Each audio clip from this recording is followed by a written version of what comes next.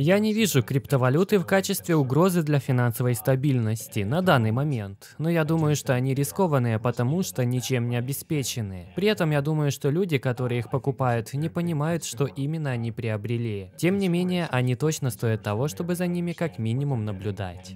Всем привет, ребята, меня зовут Богатейший Ди и добро пожаловать в новое видео. Я должен был сделать этот обзор еще вчера по свежим следам, но у меня разыгралась такая мигрень, что я просто не смог. Поэтому я напоминаю, что вообще произошло. 15 декабря ночью по нашему времени прошло выступление главы ФРС США Джерома Пауэлла. Миллионы инвесторов по всему миру внимательно слушали его слова, в том числе и я. Он говорил и отвечал на вопросы на протяжении часа, и сегодня я хочу рассказать тебе о самом важном. Первое. Процентные ставки пока что остаются около нуля. Второе. Они ускорят сокращение покупок активов. Теперь каждый месяц эти покупки будут сокращаться не на 15 миллиардов долларов, а на 30. Это значит, что они все равно до сих пор будут печатать около 75 миллиардов долларов. И на самом деле это хорошо. Рынки любят, когда что-то происходит не резко и четко согласно ожиданиям. Рынки не любят неясность и неуверенность. Когда они не уверены в том, что будет завтра, завтра акции криптовалюты начинают падать. Вот почему перед этим выступлением 15 декабря криптовалюта больше месяца падала. Рынки находились в состоянии ожидания решения от ФРС США. Такие же вещи происходили с ними, например, перед выборами президента США. Также царила неуверенность в будущем, и поэтому рынки падали. Нормальное поведение для рынков. Третий момент. ФРС США гарантировала нам, что начнет повышать процентные ставки в 2022. Вот эта диаграмма объясняет нам, как это будет происходить. На первый взгляд ничего не понятно, но сейчас я все разжую дословно. На что нужно обратить свое внимание? Конечно же, на 2022 год и на эту диаграмму вот здесь. Мы видим, что они собираются повышать ставки около трех раз на протяжении 2022, что приведет нас к процентной ставке около 1% в итоге.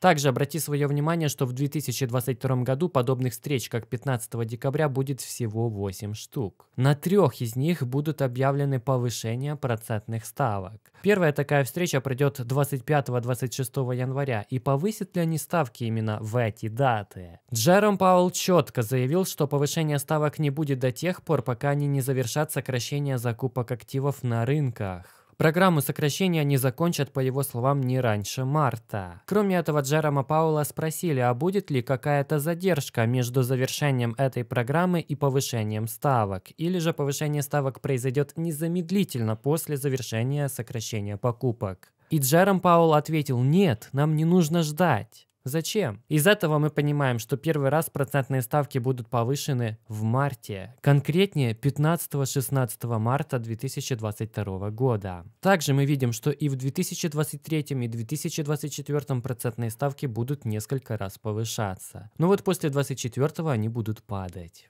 Теперь ФРС США также изменил свои экономические прогнозы. Особенно ясно изменились их взгляды на уровень безработицы и инфляции. Это нам тоже очень интересно и критически важно для рынков. Вот эту таблицу нам необходимо изучить и понять. Во-первых, Джером Паул прямо сказал, что ФРС США понимает, что инфляция хуже ожиданий. Основной причиной он называет коронавирус, но не штамм омикрон, а штамм дельта. До появления дельты индекс потребительских цен около 5 месяцев под подряд падал. Криптовалюта, кстати, в это время тоже падала, как ни странно. Вот такая закономерность. Но сейчас индекс потребительских цен начал расти. По словам Джерома Паула, это происходит из-за новых ограничений в цепочках поставок в экономике. Он говорит, что мы наблюдаем такую инфляцию не сколько из-за печатания денег и монетарной политики, а сколько из-за ограничений в цепочке поставок товаров. Однако, по прогнозам ФРС США, в 2022 году инфляция упадет практически в два раза до 2 2,6%. Также они улучшили свой прогноз по безработице, которая, по их мнению, составит 3,5%, а не 3,8%, как они думали раньше. И кроме этого, они увеличили свои ожидания от роста ВВП в 2022 году. В сентябре их прогноз был 3,8%, сейчас же они увеличили его до 4%. Что это значит? Это значит, что Джером Паул и ФРС США ожидают, что рынок в 2022 вырастет больше, чем они ожидали.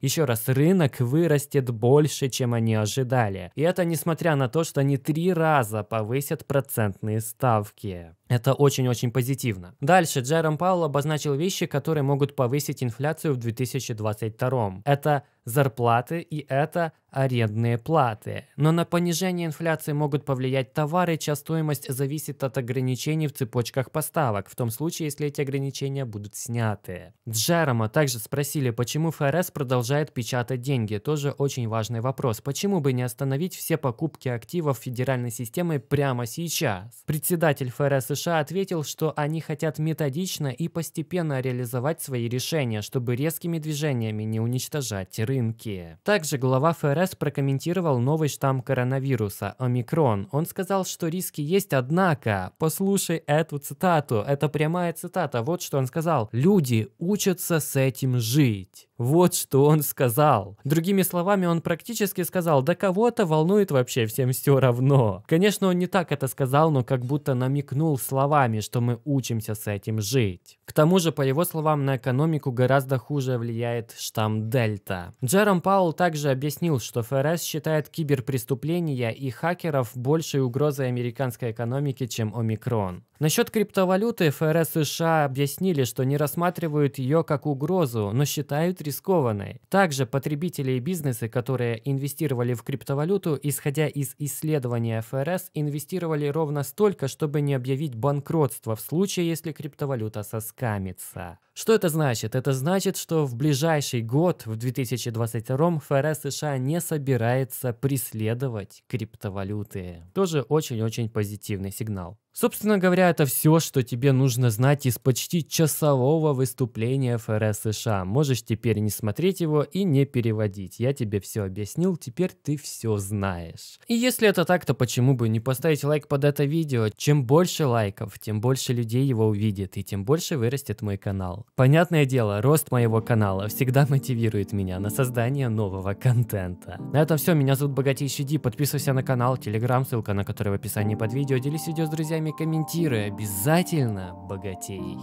До скорого.